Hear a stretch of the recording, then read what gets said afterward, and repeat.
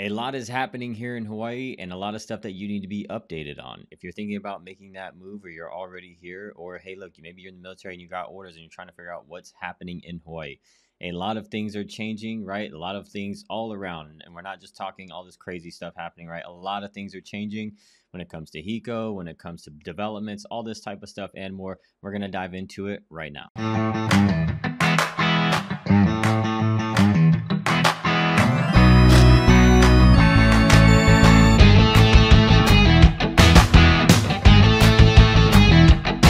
Going on? Welcome to the Living in Hawaii channel. Hey, if you're new here, this channel is all about what it's like to live in Hawaii, what it's like to eat, sleep, play, breathe, the up, down, left, and right, Waikiki, everything, all that, and more. Right? If you're not new here, hey, welcome on back. Make sure you all hit that like button. It's going to help anybody else be able to find these helpful videos.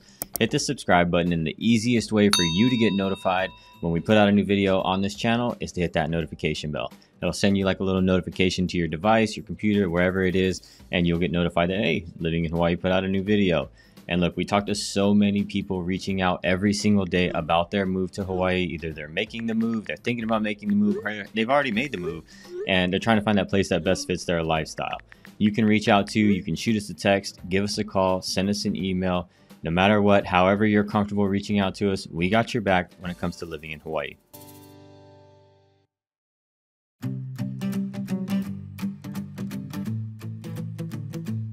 So, like I said, a lot of things are changing, a lot of things that you need to be aware of, especially if you're already making that move and you're going to live in Hawaii, right?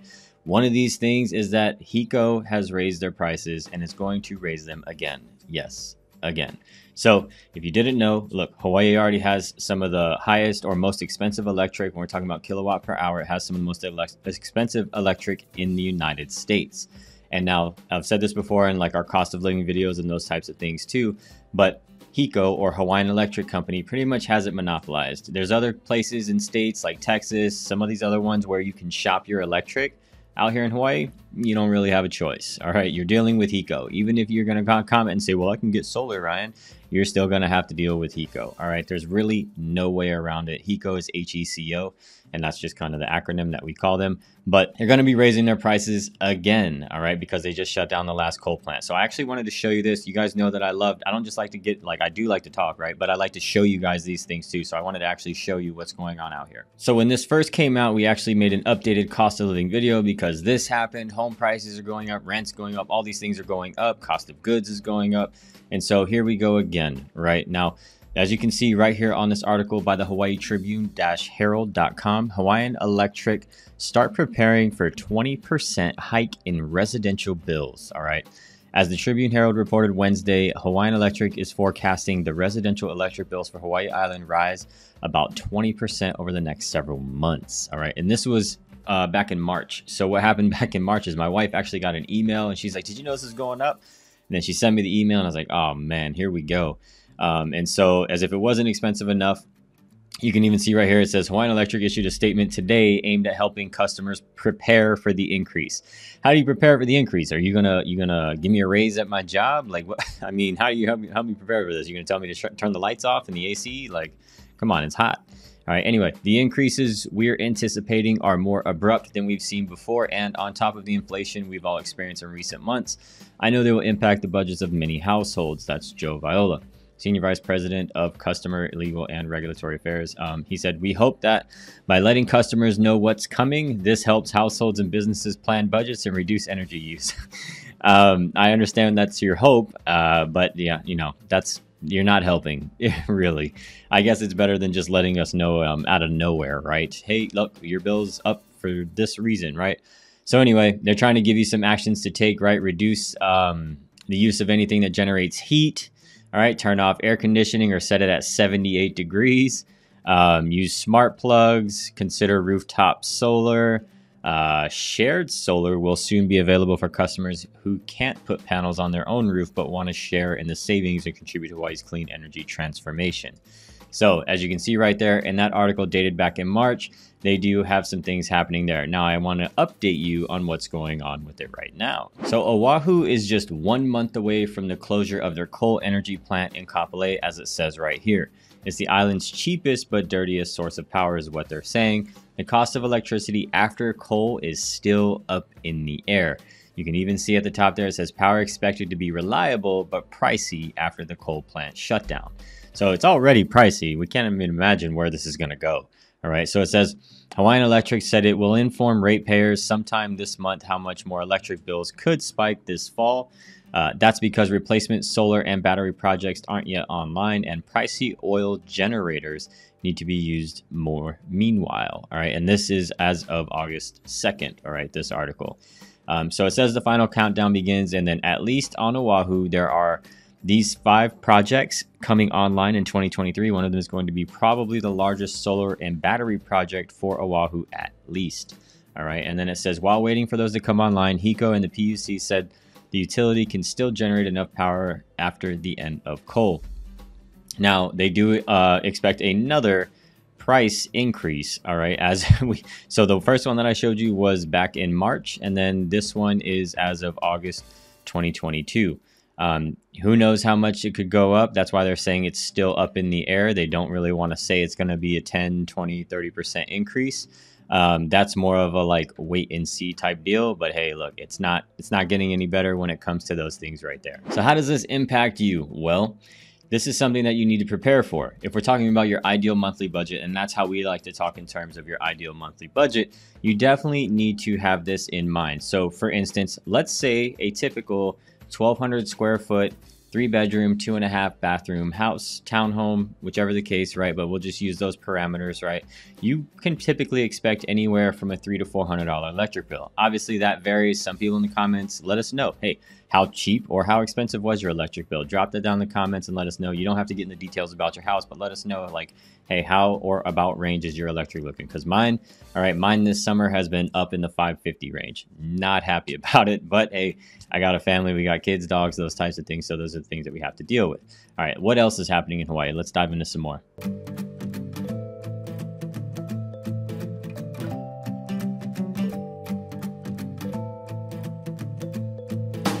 Rent is going up in a lot of places, and maybe you're thinking about moving out here and renting before you decide to buy, or you're going to be renting long term. Just a little disclaimer here we do not service rentals. Yes, I am a real estate agent out here, but we work in the sales side of things. We do not work in the rental side of things. It's a little bit different out here in Hawaii, and that relationship is really between you, the tenant, and whoever the property manager or landlord is. Now, they just talked about this recently Hawaii being, or Honolulu being the third most expensive place to live in the country. I'm going to show you that here in just a second. And they also have some data and stuff, which I always like to show on this channel too, keeping you up to date with what's going on with the data, the analytics, and those types of things, what's really happening out here, and giving you the true numbers. Because I'm a real estate agent, I can show you what we see in the back of the MLS with the data and those numbers, right? Because this is all recorded at a higher level. So they are saying that Honolulu is now the third most expensive place to live in the country, and rent's going up. We're not immune to it. It's go it's going up all around the country, right? People took on heftier mortgages, people paid more for homes, right? And when these people are no longer living in those homes and they can't get that uh, monthly mortgage, you know, covered, they're going to charge. We're charging more in rent, or not we're. They're they're charging more in rent. So let's take a look at this article and see what they're saying. Here's an article from Hawaii News Now. They just put this out August 2nd. All right, 16 hours ago, and it says as housing prices soar, Honolulu becomes the third most expensive place to rent in the country. Okay. And then, as you can see, diving in here, they've got some data and they say that the analysis showed the median rent for a two bedroom unit in Honolulu is about 2500 a month. They say about because this obviously fluctuates. All right. And it does say that that's 19% higher than the beginning of the pandemic in 2020. All right. And now it says, somebody quoted this here, but Honolulu Honolulu, Honolulu, like a lot of parts across the country, has seen pretty uninterrupted rent growth throughout 2021 and 2022, said Rob Warnock, Senior Research Associate at Apartment List. All right. In many cases, rent growth exceeds what we're used to seeing before the pandemic. All right. And then it says only Napa and Silicon Valley in California had higher rents than Honolulu. Wow. Yeah. So He even says the situation is bad news for prospective renters like Premi Simeon, uh, who is looking for a two bedroom apartment in downtown area. She hopes to pay about seventeen hundred a month. I actually just saw this video um, all on social media and everything like that, and it is hard and it is stressful because rents keep going up, right? And then people are wages aren't going up, right? People aren't making more money in those types of things. So I understand the difficulties of it. And again, I'm not picking a side. I'm just telling you and giving you the awareness of, hey, look, if you're thinking about coming out here and renting, it's going up. Okay, so we got to consider those factors.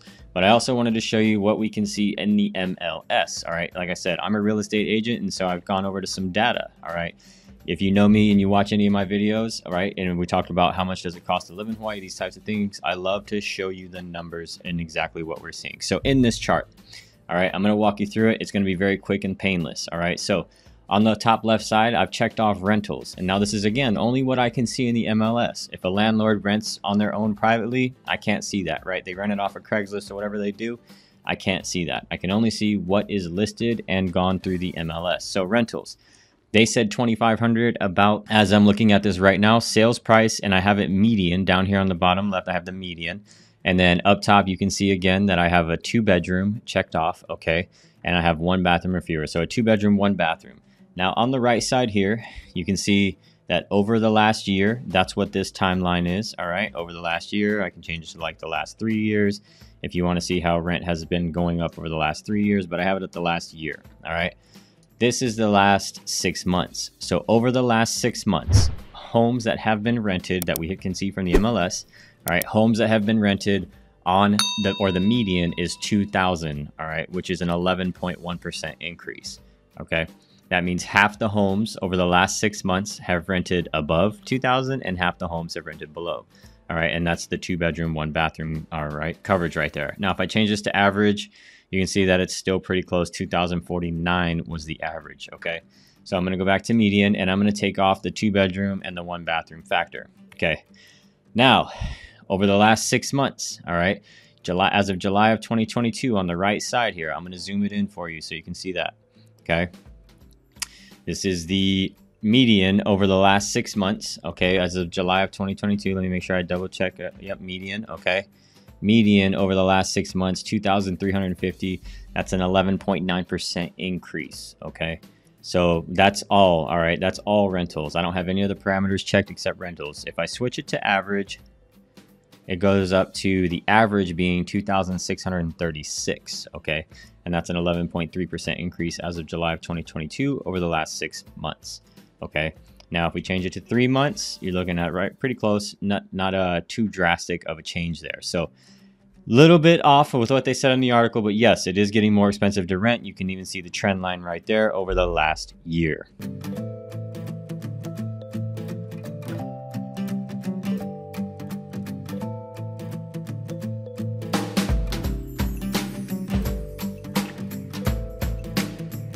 If you haven't been paying attention, the economy's been doing a lot of crazy things, which so have the interest rates, which so have the home prices. All right. So not just the rent. We already talked about the rent. Home prices have been doing crazy things. So for the last two years, pretty much, they've just seen just these crazy astronomical increases, right? It's really just been absolutely bonkers. Now that things are starting to shift, all right, and if you haven't watched our real estate update video, then you definitely should. Again, I'm a real estate agent. I look at this stuff every single day. Now, it's starting to shift, all right, and it's starting to slow down, okay? Because of the higher interest rates, all right, and because of the market starting to shift, you're really disqualifying a lot of buyers. Not necessarily disqualifying them, it's just that their budget has changed, all right? Interest rates, having a higher interest rate does impact your qualification. So if you don't have the cash, or maybe you want to wait a little bit to see what's going to happen, do I recommend that? No. Okay, I do not. The market is starting to change. We are starting to see more inventory come on the market. When we say inventory as real estate agents, right, we mean more houses are coming on the market for sale, meaning buyers have more options, meaning buyers are shifting to, or it's shifting to where the buyers then have the advantage. Home buyers have the advantage in when this market is shifting. So, historically speaking, or data speaking, yes, inventory is still considered to be low. We're not at the three or four months of inventory that we were used to seeing in a normal market. But what happened over the last two years, people started to think that that was the new norm. Okay. And they wanted, some people wanted it to be the new norm. Okay. We needed this shift. All right. We need to get back to normalcy and what we typically see in a market that is normal. So inventory is definitely impacted and so is days on market. All right. When you're searching homes online, you should be checking days on market. How long has this home been sitting on the market? Initially, when we think that, we start to think, oh my God, what's wrong with this home? Well, nothing may be wrong with the home. There just may be more choices out there all right, for home buyers, all right. And then there may be not or not enough home buyers that can qualify for that home, whichever the case may be. So we are starting to notice things slow down as far as the frenzy, okay? Not as many time or not as many homes seeing like 30 offers, all right. I've actually been looking at um, homes. I was looking at these homes earlier today, and a lot of the homes, you know, 14 days, 20 days, 50 days. It's like, wow, things really are starting to shift back, you know, seven, eight months ago, maybe even, yes, about seven, eight months ago, home would hit the market in three days or less. They had an offer eh, or they had 15 offers, right? And then they were going into escrow pretty quickly. Not the case any longer, all right, is that's what we're starting to see with this market slowing down. Some other things that you need to be aware of is that really Hawaii was one of the last states to really bring back sense of normalcy. All right. Now I don't have any like factual data around that. All right. But just hearing, I have a lot of contacts, right, all around the United States networking, right? Friends all over the country, right? And talking about what's going on. I have family down in, in you know, Florida, which has been as free as ever. Um, so they're like, I, they don't even remember what it's like to, to live how we were. I mean, I was talking to my brother who lives in Florida and uh, he was just like, I forgot that that stuff even was still going on. I'm like, yeah, out here it was. Uh, but we are starting to return to a more normal uh, environment, right? Getting that sense of normalcy back. And one of the biggest things is for our kids, all right? Our kids. I can't tell you how my son, my oldest son, who is in elementary school, was impacted, all right, by everything that was happening, right? Initially, when it first happened, right? And then he's homeschooled, and I'm like, I'm not a teacher, but I'll do my best. And then we're working at home, and then, you know, then they're going back like part time, and then, then it was they can come back full time if they're all wearing, you know, the, the mask. And then now finally school just started. All right they just started back this week all right on august 1st and i believe mask was optional in most uh, public schools. I'm not picking a side. I'm not telling you what you should or shouldn't do. All right that's all up to you. I'm just making you aware. So i actually wanted to show you this article right here. As you can see right here in this article it says hawaii students finally returning to classrooms without restrictions okay and then they even have a little video here, which is pretty cool. Sixth grade science teacher looking forward to more collaboration just because with the social distancing in the classroom, it's kind of difficult to do science labs. So kind of excite them about that. All right. For the first time in two and a half years, 160,000 Hawaii public school students will be returning to the classroom next week without having mask or social distance. All right. So finally get to hear them, see their whole faces uh, instead of from here. All right, because a lot of people were still doing um, online schooling as well. So it is starting to get to the return for normalcy, um, especially for our kids, which I'm super happy to hear about, and especially for my oldest who is in elementary school. So really cool stuff there.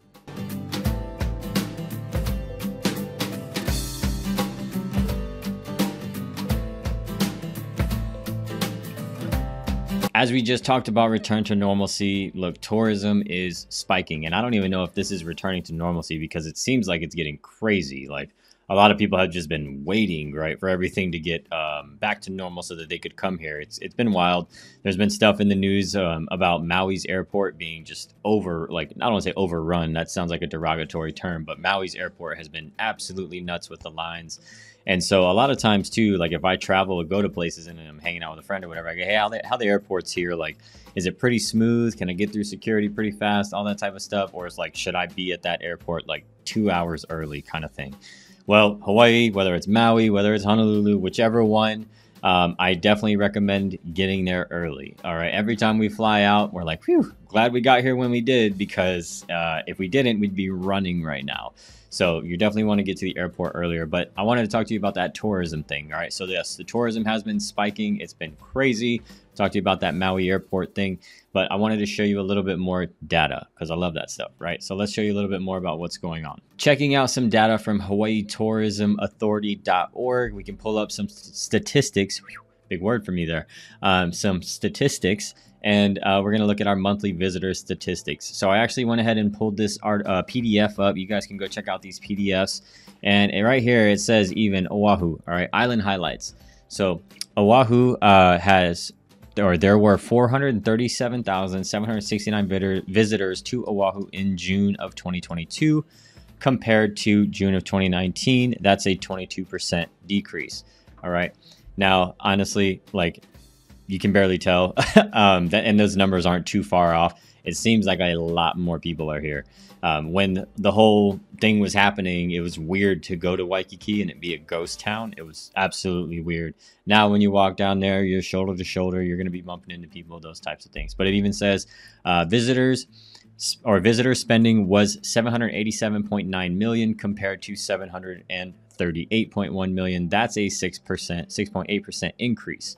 All right. And the, the, or the average daily consensus, I don't know why I can't talk right now. The average daily consensus on Oahu was 110,855 visitors in June of 2022 compared to 128 in June of 2019. So it's saying through the first half of 2022, there were 2.2 plus million visitors to Oahu compared to just over 3 million. So that's about a 25% decrease. But again, not too far off as we start to get back to normalcy and more people come. So for the first half, total visitor spending was 4 billion, down just a little bit. Maui, again, Maui was has been nuts as well. So I always like to show you guys those things and really so you can see for yourself. We just covered some things of what's really going on in Hawaii. So no matter what you see on the news, what you see on social media, we like to bring the receipts, we like to bring the data and show you those things here so that you can really see firsthand and make these things uh, decisions for yourself and really digest them. Okay. Again, we're not picking sides or anything like that. This is all information for you. So what do you do with this information? Well, again, it's it's awareness and it's knowledge. All right. Hey, I'm going to be coming there. Shoot, I got to prepare for electric going up. Right. I got to prepare for all these things happening that are going on around there. So again, knowledge is power and being able to know these things. And hey, look you're going to help somebody else get some more knowledge if you hit that like button because that helps other people find these helpful videos. Hit the subscribe button and the easiest way to get notified when we do put out a new video is to hit that notification bell. That's going to send you a, a, little notification saying, hey, look, Living in Hawaii put out a new video. You might want to go check it out. We appreciate all that. If you are thinking about making the move to Hawaii, or you're already making that move, or you're already here, all right, and you're trying to find the place that best fits your lifestyle, you can reach out like so many others do. Shoot us a text, send us a call, send me an email, slide in my DMs however you're comfortable. We got your back when it comes to living in Hawaii. We got tons of other videos on this channel, vlog tours where we're out in the communities and you can really see the communities, what it really looks like, the parks, the homes, all that and more on this channel. All those are going to start popping up for you right now.